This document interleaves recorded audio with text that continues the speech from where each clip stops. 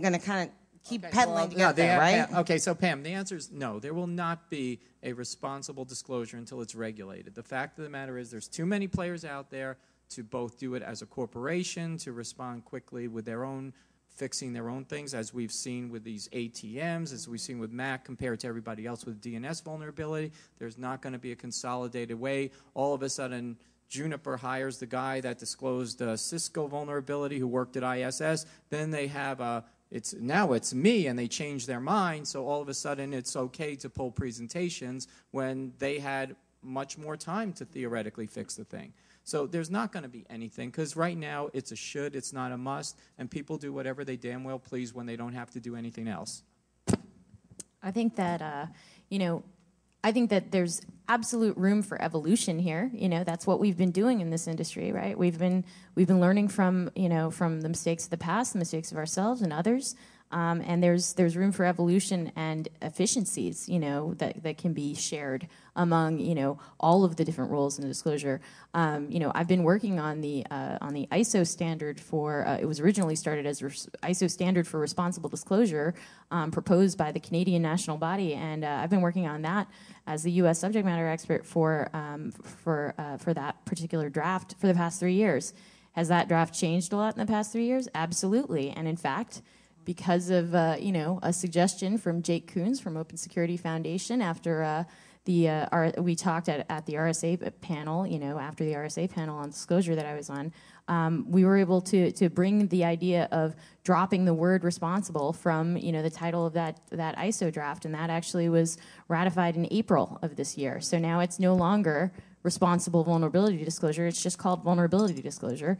But the point is, you know, that's all evolving. You know, there's there's some standardization efforts. Is it going to catch everybody? Absolutely not. But you know, we're all trying to move towards uh, you know a, a better solution than the one we have now, and it's going to take all of us.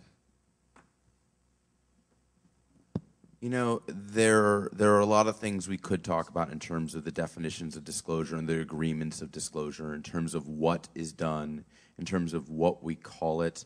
I got to be honest. I, I do think de-emotionalizing the subject is unquestionably a good thing, but um, you know, there's no doubt in the public's mind that there's an irresponsible way to disclose a vulnerability. Hey, I'm going to disclose something by hacking into every website on the planet and publishing, you know, every website is just the exploit. This is clearly an irresponsible way to do things. There's no question that there's an irresponsible way. There's always been a question that there's a responsible way. So I, I have to say, I'm kind of nervous about losing the possibility, the admitted and accepted and proclaimed value of disclosure. When we called it responsible disclosure, we at least knew there was a good way to do it. After, I like the de emotionalization, but I'm a little worried about the loss that it cost us. The So- real question at the end of the day is timelines, though. What is this? What is the appropriate timeline going to be as a statement of fact? Unquestionably, not all bugs take the same amount of time, but just as equally as a statement of fact, bugs can't have an indefinite timeline to be fixed, or else they just won't be. Right, because they evolve, right? By the time you fix it, it's morphed into something else. So, just quickly, and then I'll each let each one of you do your closing comments, if you will. When you talked about it has to be regulated, right? We were talking about. I- I actually have to agree with you because I'm just going to point out a couple of quick things from talking from what used to be standards and what used to be guidelines, which are now legislation, right? Let's talk about PCI it was a standard and a guideline. You didn't really have to do it. And if you violated PCI, you'll get a fine. Well, we all know those little fines didn't happen until, uh oh, Heartland came about, right? The big old breach there. So at the end of the day, PCI was a guideline and a standard. It was not a legislation. You didn't go to jail for it, if you will. That now has legislation backing in the state of Nevada, actually. You must be PCI compliant or you break the law, per se. The other thing that I want to bring to attention is HIPAA is another one. It was a standard and a guideline, and now we have HIPAA High Trust. So really, we had nice standards, nice guidance, nice guidelines. You can use it, you can adopt it. Let's be universal. And they didn't have enough teeth in them. You couldn't hold people accountable. Now they're being held accountable. So I have to kind of side with Ira here, thinking someday I think there's going to be a level of accountability for responsible disclosure.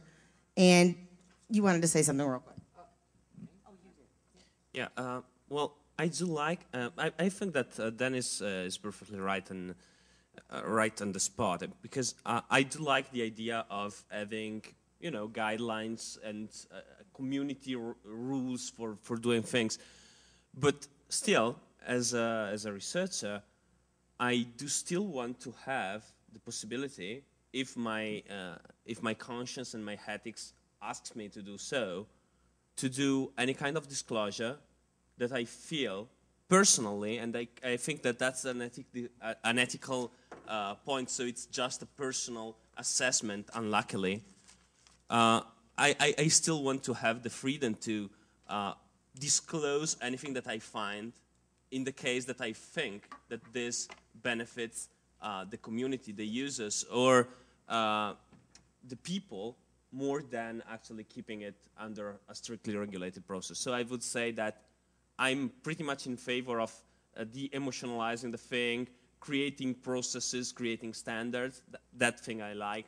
When you talk about regulation, and I'm European, so I should be the one pro regulation and not the one against regulation. But when you talk about regulation, that really, really scares me because regulation applied to security disclosure, in my mind, pops up with the DMCA and Ed Felten not being able to publish his research. though, right? It's more than security. Yeah, of course. Anyway, closing comments. Uh, basically, I disagree with Stefano. No, he should not have the right to do whatever he pleases whenever he pleases. Because the thing is, he's he by disclosing a vulnerability, you're impacting other people.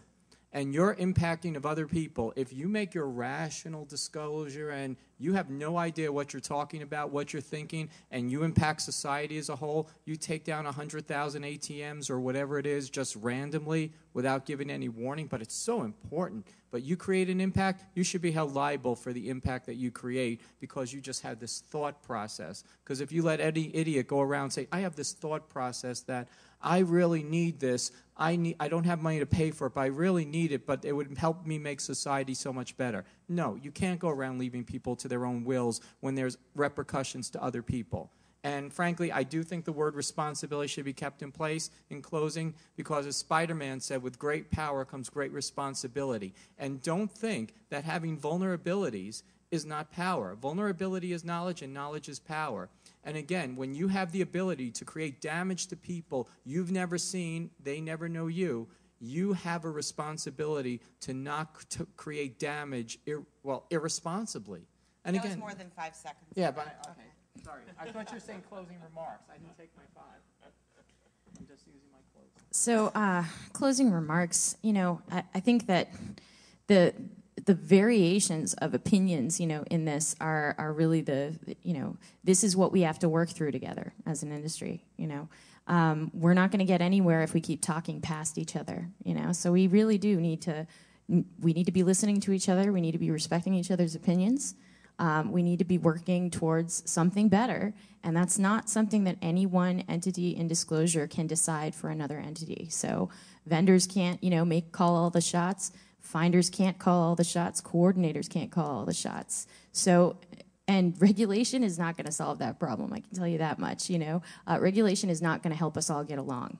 And this is what we actually need to do. We actually need to take it from a politics focus to a people focus. This is about protecting people. So if we're all on that page, guess what? We're all on the same team. Let's stop fighting about it and work against the real adversary, who are the criminals who are actually doing no disclosure, right? So let's focus on the actual outcome that we want, which is to get people uh, safer. Of course, we're going to disagree on you know the best and most efficient road to that outcome. That's the point of the discussion. That's the point of coordinated vulnerability disclosure.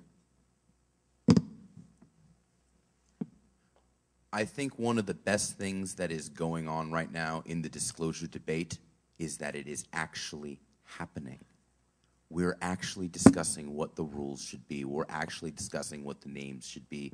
We're not talking past each other. We're not waving our fingers at each other. There is engagement on both sides.